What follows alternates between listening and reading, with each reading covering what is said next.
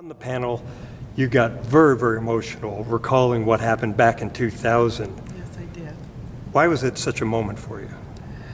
Because I had refused to reflect upon, um, to recall those painful and difficult, um, personal kinds of investments that were required to participate in the rally, in the meetings and conversations and what have you.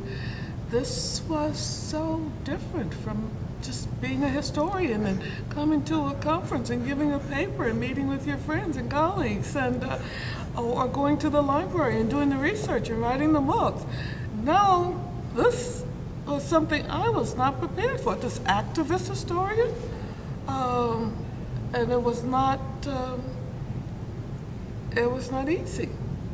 And you mentioned that you had made a decision years earlier not to be active. What was that about? I had made decision not to be active in a public venue, that I would never uh, attend, much less address a rally, protesting anything, that I would do my activist work either in the classroom or in the community, but it would always be um, small scale.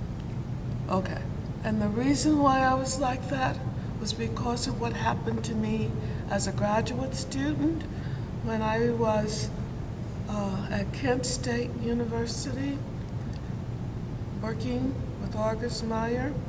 Uh, and on May 4th, 1970, I and a couple of other graduate students decided to go and stand on the, on the uh, grassy knoll, so to speak, and watch the protest uh, against the Vietnam War. And never in a million years could I have imagined that those guns were loaded and that four students would die. We were standing there talking about, sure, the guards have guns, but there are no bullets in those guns. Who comes to a college campus and kills students? It should be a safe place, a sacred place. We're just there to learn and to try and get at some kind of truth and understanding. And after that happened, I didn't want to talk in any public venue, and I didn't want to go to any rally. You joked uh, when you were on the podium and said that uh, uh, ever since then you haven't stopped talking. well, I still don't go to rallies though. But ever since then, I haven't stopped talking, and and I'm very passionate about talking history, and so that's been what I talk. The point that I made at that rally is the point that resonates in everything I say today about history. African American history is American history. What we call black history that's American history. Women's history, it's American history. You know, all of these people who have contributed so much to making this country what it is today, and sure, there's a lot of work that needs to be done, but every group needs to be recognized for their contributions and their humanity. One of the other uh, points you made while you were up on the panel was that uh, this was a uh, turning point in the history of this organization. In what way?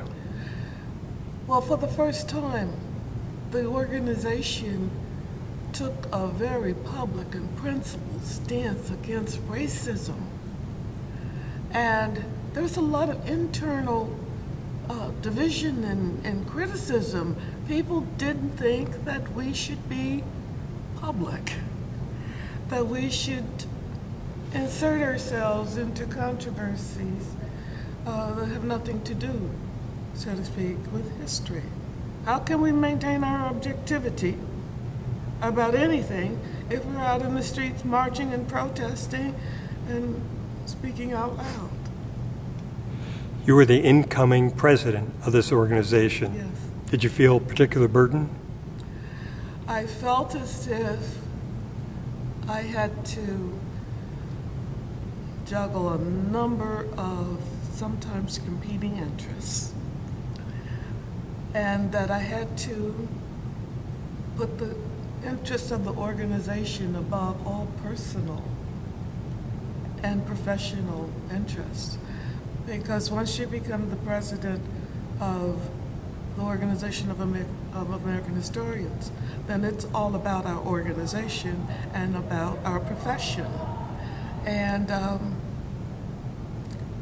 you have to be very careful about how you handle uh, your various constituencies within a very complicated uh, professional organization. You made a reference up there to uh, Frederick Douglass. Yes. Frederick, oh, that had, I made the reference to Frederick Douglass because I was asked to um, raise some money uh, to, on the night of the presidential uh, address by David Montgomery. I was asked if I would help the OAH out by going up into the podium and doing something that no one else had ever done before at an OAH uh, address. But, you know, David Montgomery was probably the first president of the OAH uh, to ever give a, an address at a church. So we're at a church, we need money, go, somebody has to go up and raise money. That's what churches do. And so, as president-elect, I was asked to go up to the to the uh, uh, the pulpit and raise this money, and all I could think about, having never done this before, was Frederick Douglass, and how Frederick Douglass was made the president of the Freedmen's Bureau Bank, and within six months, it had failed, closed the doors, you know, and people were saying, as I thought they would, when I became president and the OAH collapses because it doesn't have any money, that that's proof. Black people should not be presidents of banks, should not be presidents of any organization that requires them to raise money. And so, with that sort of scenario in my mind, I decided to fail big. So I said to everybody, uh, I'm here to raise money for the OAH, pay some of our legal fees. So if there's anybody with $500 who'd like to donate it to the OAH, would you please come up now? And I stood there, and people started laughing because historians are notoriously uh, shortchanged when it comes to big salaries.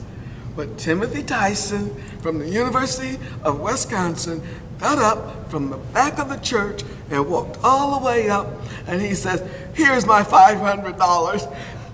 And it was like an amazing moment because then everybody started putting uh, as much as they could afford into uh, the donation uh, basket. And I understand we raised $8,000 in that night. And eventually, uh, Lee Formwalt said that uh, uh, the organization uh, raised, what was it, $90,000.